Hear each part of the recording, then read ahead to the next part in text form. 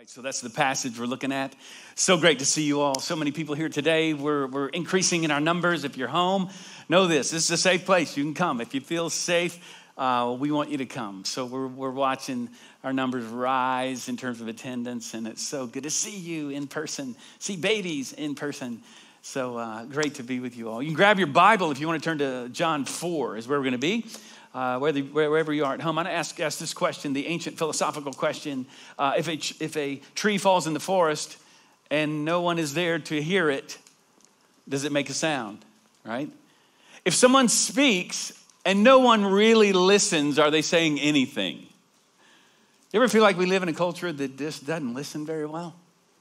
How do we listen like Jesus in a society that refuses to listen?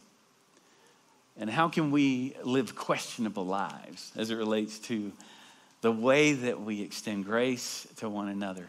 I want you to do this for a moment. I want you to just close your eyes right where you are. I'm not going to get too weird, but just for a moment, close your eyes just to focus, okay?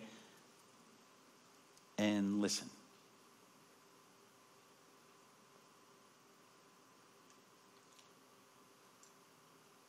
So, what did you hear? There's a difference between hearing and listening. Listening requires focus.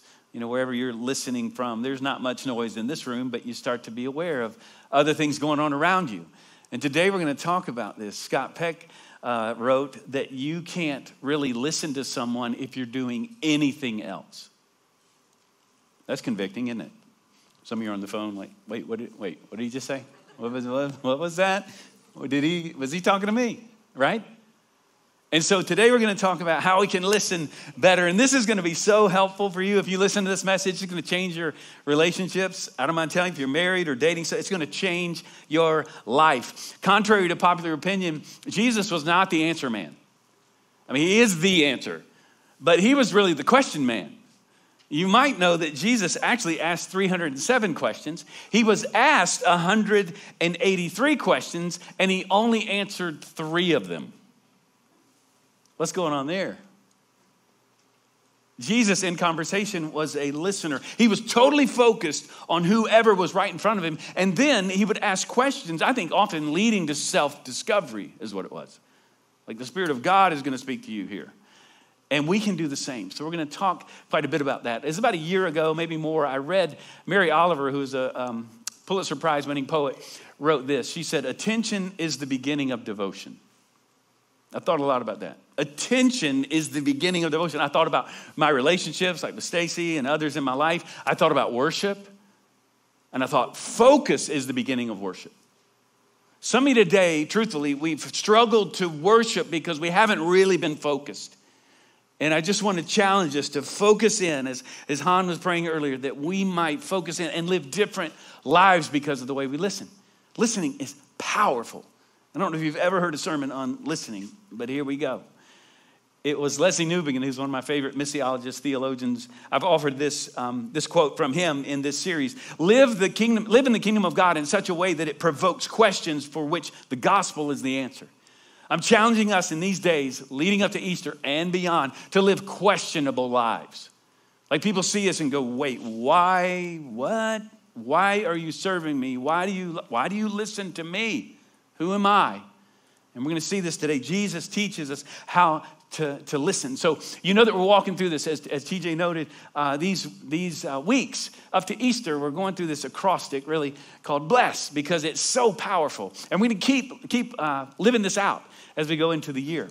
And we've said that we begin with prayer. That, that's the challenge for many of us. We don't begin with prayer and then we just rush in, right? And then everything goes kind of crazy in our relationship. Begin with prayer. Keep praying for people in your life. Listen well. We're going to talk about that today. Eat with them. Okay, have coffee with them, right? Uh, talk to them, spend time with them. It may be a phone call these days, but serve them and then share your story with them. Share the story, the gospel story in the end. We're going to talk about that as we move into uh, the days to Easter and learn how to bless people. All right, so John chapter 4 um, this in context. We're, we're going to look at Jesus speaking to this woman at the well. You probably know this story, maybe the Samaritan woman. And we're going to learn today that we are challenged by Jesus to listen to the person, okay? Listen to the heart and listen to the Spirit as we have conversations with people. This is going to transform your family, transform your relationships, and it's going to bless those we're seeking to bless. All right, so first, let's talk about it. Listen to the person. When you look at life of Jesus, again, he was totally focused on whoever was right in front of him. Jesus was often, I say this, uh, I say this often, but he was often uh, busy, but he was never in a hurry. Two very different things here.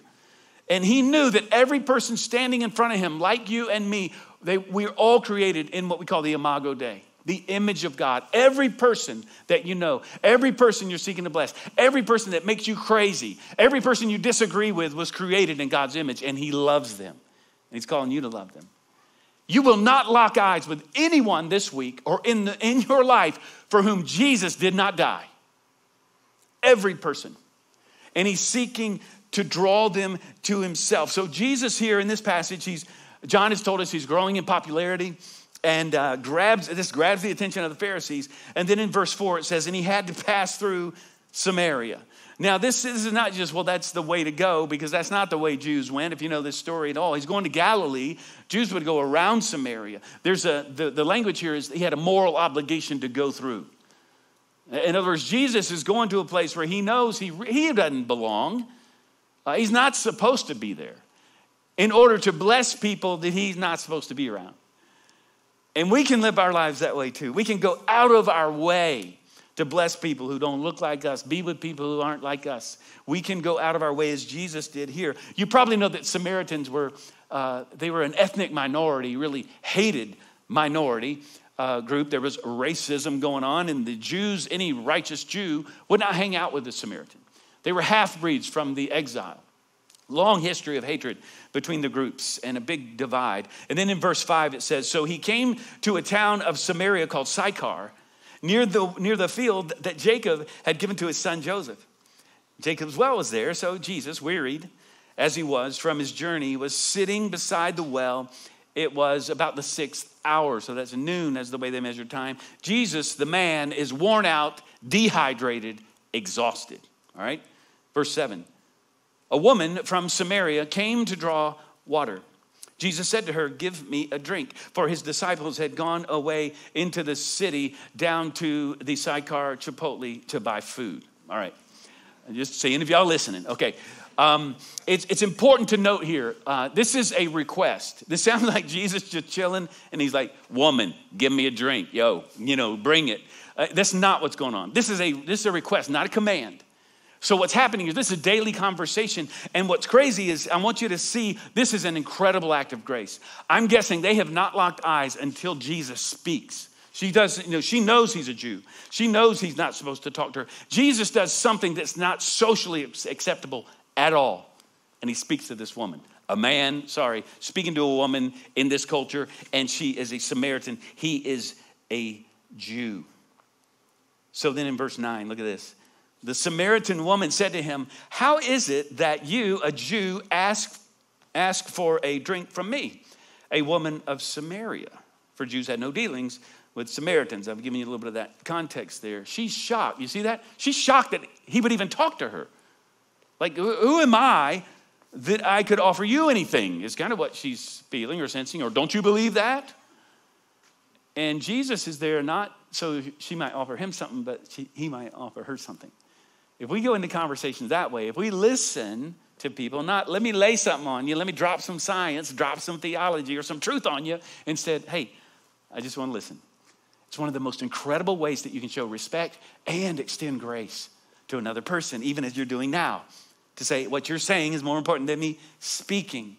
But too often we listen with an intent to respond instead of with an intent, an intent to understand and to simply listen. Right? This is what Jesus is doing, and watch where this goes. She's shocked that, that he would even talk to her. And so now he's, he's living this questionable life.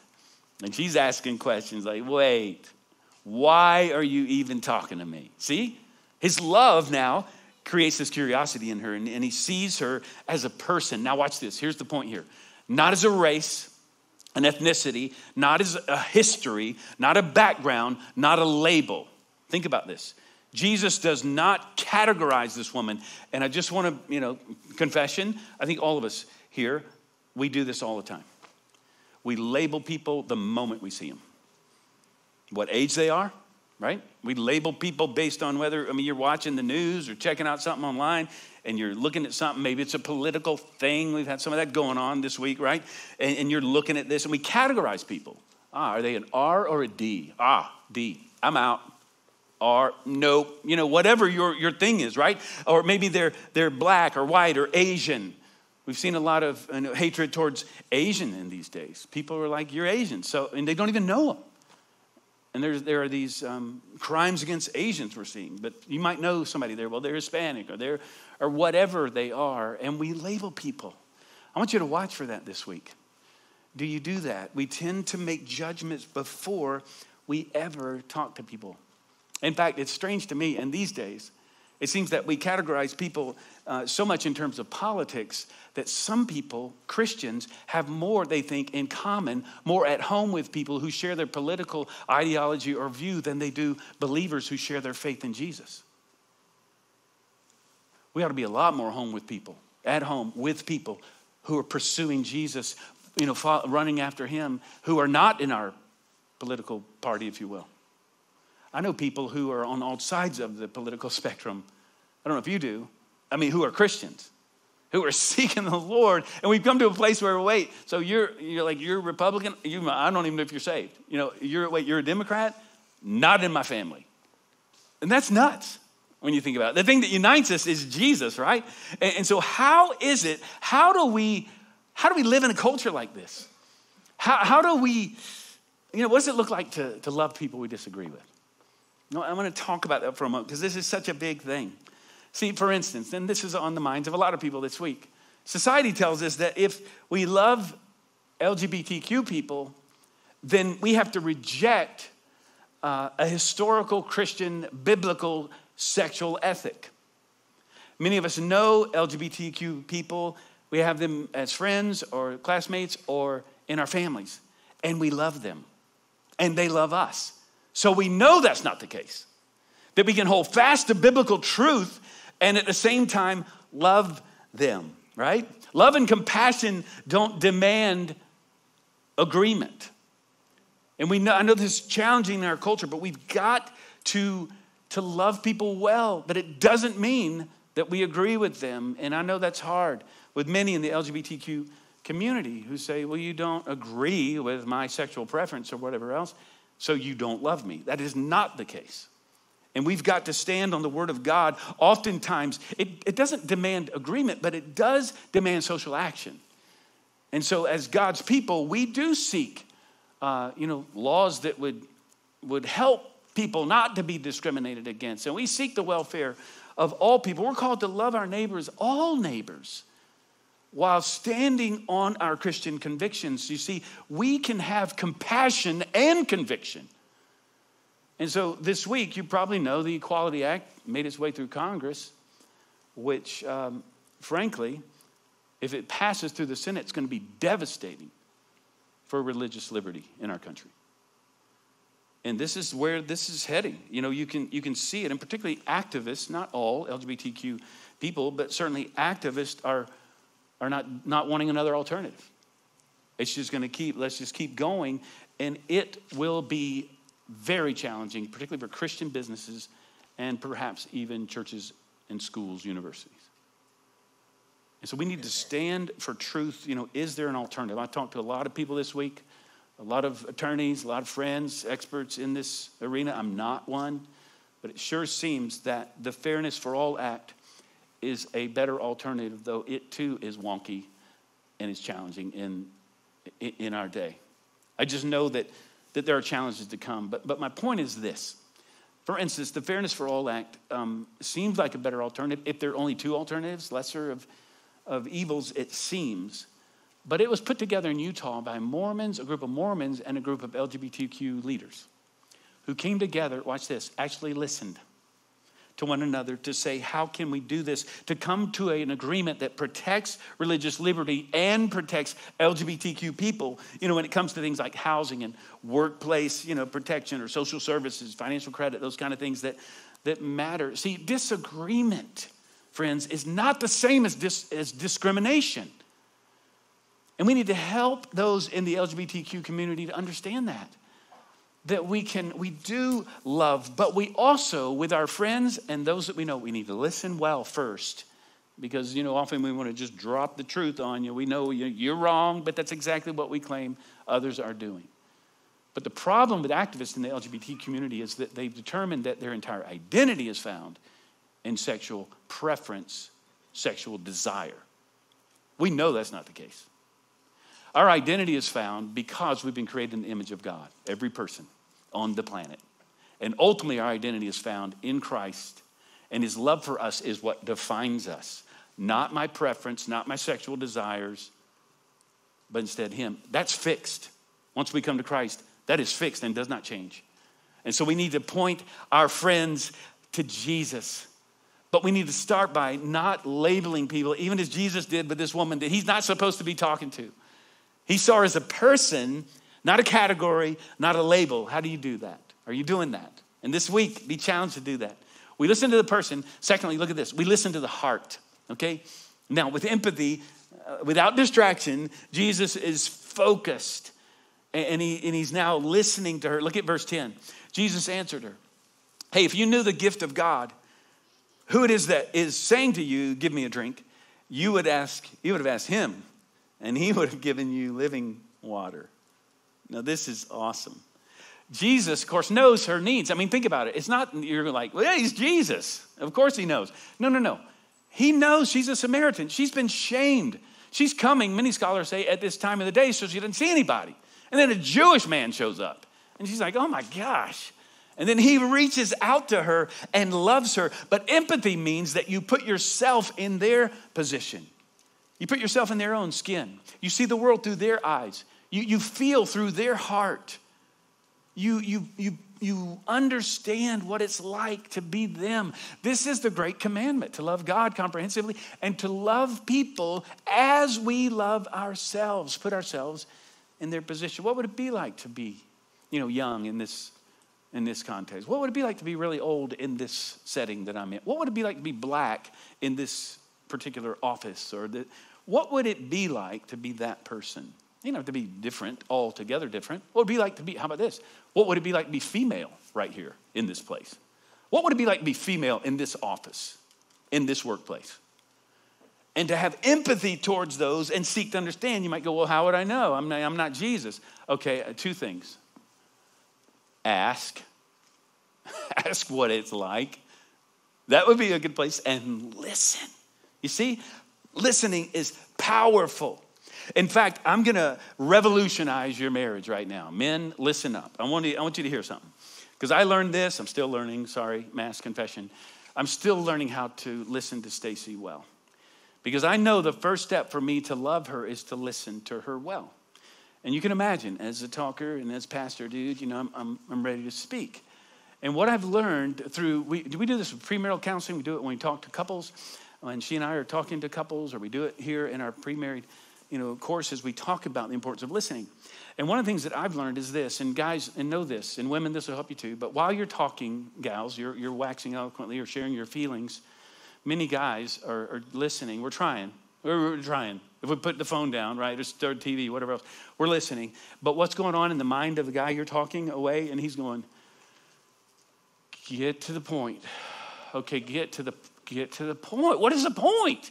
And already he's thinking, because you're sharing with him, he's thinking, uh, get to the point or stop talking because I've already got three points and I know exactly what you need to do because you're telling me this because I need to fix the problem. I can fix this problem. Stop talking. I'm ready to fix the problem. And men, listen, here's what's changed my relationship with Stacy.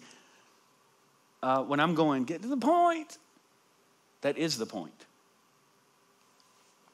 Listening to her is the point validating her feelings and what she's feeling is the point. It's not for you, to, you're not that awesome, by the way. You're not that brilliant. And she's not sharing with you simply to fix the problem. But here's what Stacy does. Now, gals, this will help you. Stacy does this periodically. Hey, um, I want to share something with you. I don't want you to fix it. I just want you to hear me. And I'm telling you, that sets me free to go, okay, wow, evidently I do that. Um, so I'm going to listen. And it is powerful. So, dudes, take notes, all right? And gals, practice that. Sorry, men, practice that. Tell him to just be quiet and listen. So we think, you know, she's looking for validation. Hey, we're all looking for that. For men, we call it affirmation, probably. But we all are looking, does somebody really understand me? Is anyone really listening to me? Because we know that's the first step towards devotion, first step towards listening. Jesus knew this woman was thirsty. How did he know? Well, because he's Jesus. No, because she's human and she's dying inside. We haven't yet seen exactly what's going on, but he offers this thing of, hey, uh, you, you know, we got the well here, but there's living water to come. And this doesn't mean in every conversation you offer, you know, kind of the Jesus juke, you know, like, oh, this is a great burger. Hey, I got a better, better burger for you. Jesus is the better burger. Like, what? What was that? You don't know. But what he's doing here is he's getting to the heart of her problem. Because she is saying, I'm, you know, she's, she's dying inside. She's thirsty inside. And so Jesus goes to an old reference that she would have known. Evidently, she's theologically astute, we'd come to discover. But in Jeremiah 2:13, it says this: For my people have committed two evils. They have forsaken me, the fountain of living waters, and hewed out cisterns for themselves, broken cisterns that can hold no water. Listen, here's the truth about all your four people or beyond that you're seeking to bless. Every person I'm praying for, every person you're praying for, every person in your life is like you and me. They're, they're trying to draw from broken cisterns. I don't care how successful they look, what's up with them, they are desperate. And her broken cisterns were broken relationships with men. As we're going to see, perhaps you know this story. Jesus is listening to what she really needs, is my point. But we've got to listen. I heard a great story this week um, of a group that was going on a mission trip from a church. And uh, actually, I read this. They were, they were going to this village and they were ready to, to serve on a foreign mission trip and all excited. And coming with, you know, a lot of things they could bring. They brought construction and all kinds of, you know, tools and everything else, going to build something. And a bunch of men were on the trip as well and coming to say, you know, we're coming in to rescue you. We love you. In the name of Jesus, we're going to build something. And, um, and they were talking and, and, you know, really talking to the leaders there and like, hey, we're, here to do this. We can build a school. Man, we could build a, uh, a church. You want to, we need a church. We're going to build a, we build a hospital. We can, we're here to build something. What is it that you all need? And when they asked that question, the answer was, we need a mailbox. That's what we need. Like, what? Yeah, mailbox. Because see, without a mailbox, uh, we don't have a zip code. We don't have a postal code. Without a zip code, we're not on the map. And without being on the map, we don't get social services that could help our people across the board. And if we're not here, we don't have a mailbox, and then we don't exist. We need a mailbox. I saw that this week, this past week, when the snow came. We're all hunkered down just trying to survive in our homes. And I get on the phone, we're trying to figure out what are we gonna do because we know that a crisis comes and the most vulnerable are gonna be in trouble. We got no water, we got no heat. You know, a lot of us are like, well, but what do we do? We can't even hardly get out. And so we're thinking, what can we do? We've got to do something. And so I gathered the team together and I thought, well, you know what? We need, we need Jessica Lambert on the call because we're seeking to bless our friends in Vickery, in particular, where we have deep relationships. We we've listened for a long, for years. We've been listening. I get Jessica Lambert on the call, and she says, "I just got off the phone with Sandra Barrios," and I'm like, "I'm not surprised." The principal at Jack Lowe Elementary. And then, then the conversation goes, "Here's what they need, uh, and here's what they don't need." And it helped us to say, "Here's how we can help," and you all help big time. It's why we're even now collecting beans and rice to sustain people who've been hit so hard. Even in just that week or so, they've lost much, and we're here for the long haul because we're listening. It's how we do ministry here. It's how you should live your life, every single relationship you're in. In fact, in his landmark book, When Helping Hurts, which is subtitled How to Alleviate Poverty Without Hurting the Poor, uh, Steve Corbett says a lot of times churches and others we go in to help and we actually end up hurting because we're not listening. Same is true in your relationships. Look what happens. A key question here um, that I want you to, to, to consider is, is, is that here's, here's probably application, another application today. This question How can I help? It's that. In your marriage, in your relationships, in, with your roommate, with friends, how can I help? It's a powerful question. to extend grace to others. Look at verse 11.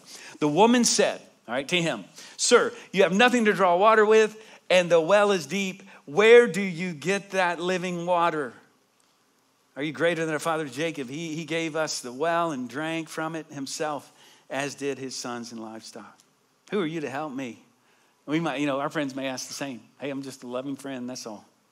I'm just a listening ear. But he's prompting curiosity because of his empathy. Look at verse uh, 13. Jesus said to her, Everyone who drinks of this water will be thirsty again, but whoever drinks of the water that I will give him will never be thirsty again. The water that I will give him will become in him a spring of water welling up to eternal life. You can see that this water, then you never, you're never thirsty again. Never, ever again. And then look at verse 15. The woman said to him, Sir, give me this water so that I will not be thirsty or have to come here again. Now, clearly, she needs food and water. Jesus needs food and water here. He needs water to drink. But he's getting to a deeper matter because you see, everyone we know needs this living water.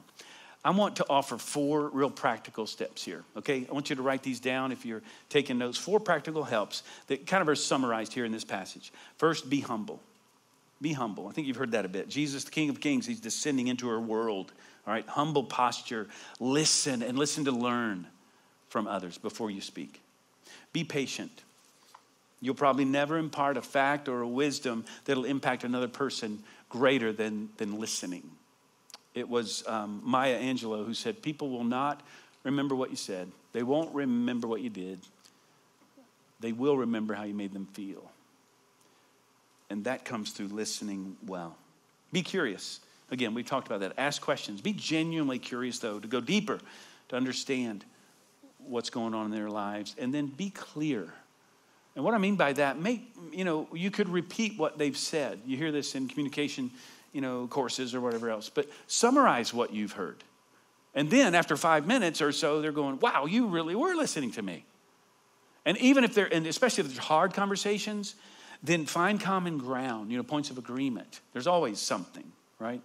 So we listen to the person, we listen to the heart, and then I'll close with this finally. Listen to the Spirit. Listen to the Spirit to guide our conversation. Look at verse 16. Jesus said to her, uh, Go call your husband and come here. The woman answered him, I have no husband. And Jesus said, You're right in saying you have no husband. You've had five husbands, and the one you're with now, the man you live with now, is not your husband. What you said is true. And I think there's a lot of compassion in his voice, by the way. He's not pointing his finger at her. And the woman said to him, I, I perceive that you're a prophet. And Jesus answered, What was your first clue? And um, he didn't. See, I'm just, again, you're still listening. All right. This woman is a mess morally, right? She has been with many men, and behind her desperate need uh, is one for love, true love. And so look at verse 20. Our fathers worshiped on this mountain, but you say that in Jerusalem is the place where people ought to worship. Now, check this out. Um, you know, you've had a lot of husbands. You, the man you're living with now is not your husband. And then she goes, Hey, you know, about worship. Um, it's you know right it seems like she's this is great diversion i'm not so sure that it is because i think she's staying right on track with what her greatest need is and it's to worship god she's basically saying i can't worship in jerusalem because of you guys jews and i can't worship here evidently so what am i supposed to do if i'm going to worship god and in verse 21, Jesus said to her, Woman, believe me, the hour is coming when neither on this mountain nor in Jerusalem will you worship the Father. He's saying you can worship God anywhere. And then in verse 22, you worship what you do not know. We worship what we do know, for salvation is from the Jews. But the hour is coming and is now here when the true worshipers will worship the Father in spirit and in truth, for the Father is seeking such people to worship him. So, to this half breed, rejected woman of society, Jesus offers the most profound words he would offer on worship. Look at verse 24 God is spirit, and those who worship him must worship him in spirit and in truth. The woman said to him, I know that the Messiah is coming. Watch this, she's got her theology right. He's called the Christ. When he comes, he's going to tell us everything. She's like, I, don't know what you're talking about, but, but he's coming and he's going to set things right. And then Jesus says to her, Look at this. Jesus said to her, I who speak to you am he. The one speaking, I am. the very one she's looking for is right here. Here's my point, friends. As we talk to people, we listen to the person, we listen to their heart with empathy, but always remember this there's a third person in the conversation. Don't miss that. There's always a third person. That's why we begin with prayer. And so as we go into the world today, I want us to remember that Jesus truly is the answer for all of us. Because, like the woman, we have broken cisterns that we're drawing from. And, and if you're here today and you've never received Christ, you know, you, all of us can relate to the woman. But if you feel that you're shamed by the things of your past, maybe feel that there's a judgmental spirit coming at you, know that here, at least, this is a place of grace. And Jesus loves you. Here's the beautiful thing when you come to Jesus, He does not condemn you. He seeks to draw you to His grace to be forgiven because He died on the cross for you. And He rose again so that you could live a life in power over sin in your life and so that you might join Him in eternity. What is your broken cistern? What's the well you run to? Is it approval? Think about that. Let the Spirit speak to you. Is it, is it success? Is it popularity? Is it performance in some area of your life? What well are you running to because it's broken and it will never be the living water you're looking for. Jesus comes to us, and in Him, watch this, our judgment moves from the future to the past. Because Christ has taken upon Himself our judgment so that we could be forgiven and live forgiven. So, we've intentionally left off the rest of the story a Sychar, in Sychar, a revival breaks out. Jesus stays there for a couple days. Imagine that, preaching away. All because of this woman. All because Jesus listened. And then she went and told others. I met him. I met him. I want to challenge us all to live questionable lives this week. Let's love people in a way where they just don't fully understand the gospel is the only answer. And so let's let's do this. Let's pray as we close our time together. Just to commit, not to rush in this moment, uh, to get on to the next thing, but be focused, to be here, to be present. So, if a tree were to fall in the forest, no one's there to hear it, would it make a sound? How many people in your life are fallen, broken, falling, and maybe you've not been listening. Lord, I pray that be true in my life. I want to be a better listener. Lord, help us to be people who listen well, who extend grace to others, love people with empathy, and to hear their hearts as your Spirit guides us and leads us. And friend, if you're listening to my voice and you may wonder, you're questioning your relationship with Jesus, I want to just join others who are praying with you and for you right now to say, give Christ your life. He died on the cross for you. Say yes to him by faith. Receive his grace and his forgiveness. Stop going to broken wells and receive the living water, the bread of life. So, Lord, we give you our lives to go forth, to listen well, to love well, to be light and salt in the world this week. And we pray it in Jesus' name.